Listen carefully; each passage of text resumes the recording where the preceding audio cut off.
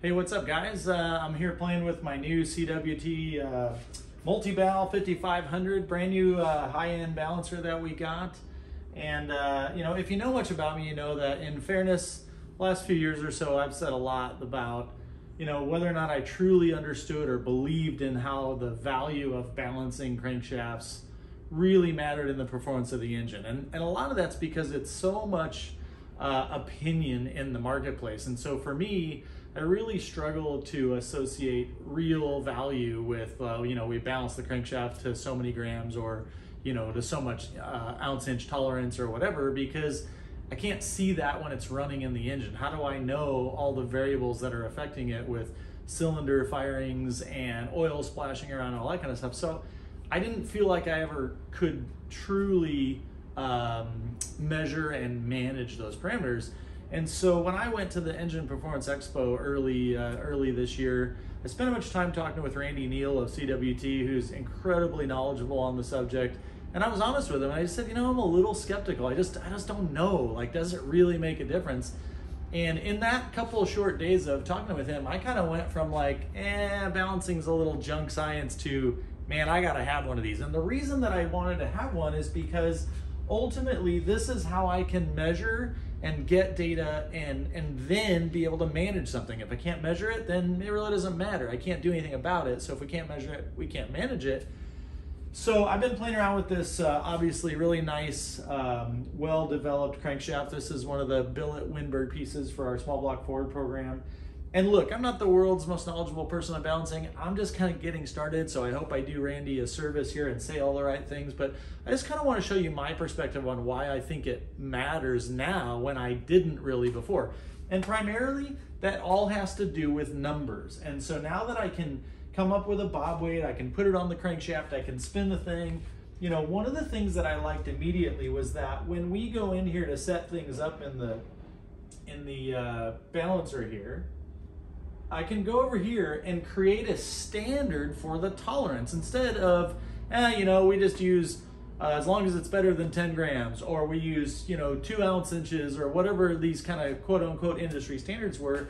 It made sense to me when we talked about how, depending on the RPM you want to run and the length of your stroke and the weight of your, your components, the value of tolerance that you should allow should be changing. And that made sense to me. If I got a big long stroke and a big heavy crankshaft, it's naturally going to move around farther when it's out of balance than something with a really small stroke would. So being able to set up a customized ISO standard, ISO is pretty reliable. So based on the ISO standards, we can put in the weight of our crank and the RPMs we're going to run, and we can have it calculate what our allowable out of balance would be. Meaning, you, if it's worse than that, we can do better. If we can get the number smaller than that, there's not really a lot of value uh, proven over time historically uh, by increasing that. So I went in, I can put in, for example, the weight of my rotor. Now that's my crankshaft, my balancer, my, you know, anything that's spinning, your, your flywheel or your flex plate, probably even your, your uh, torque converter in the transmission, all that kind of stuff.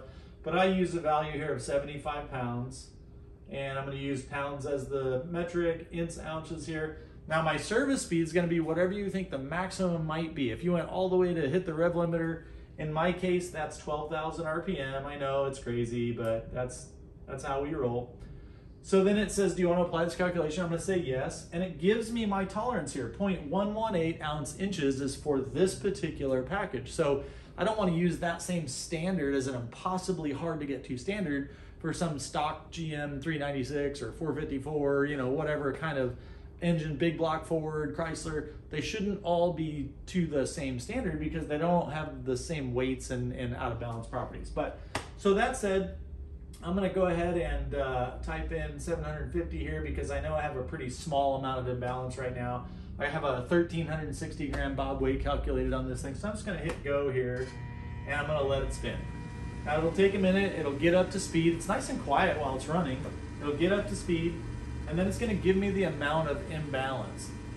And so we'll let it do that here. It says analyzing, and it should be just about done. So we'll go ahead and let it do that. There we go.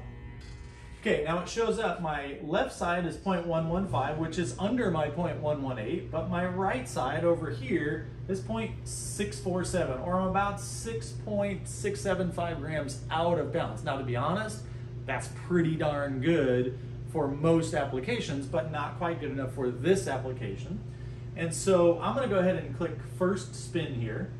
And uh, then what I'm gonna do is I'm gonna rotate this around until I find out where it is in terms of coupling. By coupling, I mean how close the impulse is out of balance on this side versus that side. Remember, our counterweights, they should be opposing each other, exactly 180 out. We have a little bit of tolerance there. If I can be between about, oh, maybe uh, 150 or 60 over here and maybe like 200 over here, somewhere on here on the bottom, I'm looking pretty good right now. I'm TDC on this side, I'm 188, which is only 8 degrees out of perfect coupling there.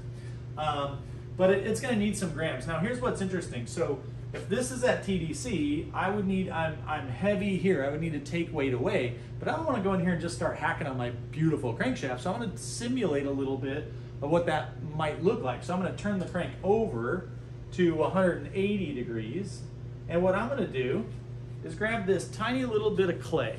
Now just this amount. Now this is a little more than my 6.675 grams. This is actually about um, 8.6 grams, but it's it's tiny. Look at that, just clay. Um, the reason I'm using a little bit more is simply because um, I'm spreading the clay out a little bit as I'm putting it on, so not all of that weight is being affected exactly uh, at the center of my point. So I'm just gonna put that on here, do another run and see what happens. Hopefully the clay doesn't fly off while we're doing this. Sometimes that happens. I'm gonna let this run. And obviously I've been playing around with this and kind of got it close. I want to show you what I mean by having numbers that I can quantify to say that it's better here as soon as this is done spinning. So we'll see here. So now I'm all the way over here at 0.105. You can see it is balanced to tolerance. I'm only 1.082 grams out of balance on the right side, 1.083 grams out of balance on the left side. And if I bring this up, you can see that it is very well coupled here, 180, 190. I can play with this by moving that weight around and, uh, and try and move where it's coupled. But for now, I'm gonna hit last spin here and I wanna go over here, I'm gonna hit print. This is what's great. So now I get a printout of the amount of unbalance that I have, okay, if I just set the crank statically, is pretty fixed. So at 1,000 RPM, I've got about 1.185 on the left side, and I've got 6.675 on the right side. That was when we first spun it. I've been able to reduce that to, it pretty much stayed pretty close to the same on the left, 1.083, but now all the way down to 1.082. So I went from about six, almost seven grams of imbalance. In fairness, that's nothing in the real world, but I brought that all the way down to a little, just above one gram of imbalance there. Here's where it gets interesting. So as that weight spins, the centrifugal or centripetal force multiplies by the square of the RPM. So that little tiny piece of clay that I added, here's what it did for me. If you look over here, I know it might be hard for you to see, but at 10,000 RPM, which is gonna be below what I intend to run this engine to, that 6.7, uh, 6.675 grams, that little tiny bit of weight that's out of balance, is causing a force of 115 pounds to be applied to the crankshaft at 166 times per second. So the frequency is you're taking a jackhammer with a 115 pound end on it and going bang, bang, bang, bang, bang at the exact same spot every time the crank goes around 167 times a second. Now again, those are pretty small numbers in the grand scheme of things, but watch, that little tiny piece of clay that I put on there, reducing me about five and a half or six grams, now at the same RPM, I've only got 18.6 pounds of force at that same frequency. So we went from 115 down to 18 and a half pounds. That to me is a measurable difference. And now I can work on my crankshafts and make them really small. I can go out and race them. I can get them back and look at the bearings. But to me, there's no way to avoid the number of saying I can hit my crankshaft with 100 pounds or 500 or 1,000 pounds or I can hit it with less than that, that's gotta be better. So why did I go from balancing as junk science to, man, I gotta have a beautiful new balancer in my shop? Because of the numbers. I can measure it, so now I can manage it. We'll be back with more as soon as I learn more to tell you about.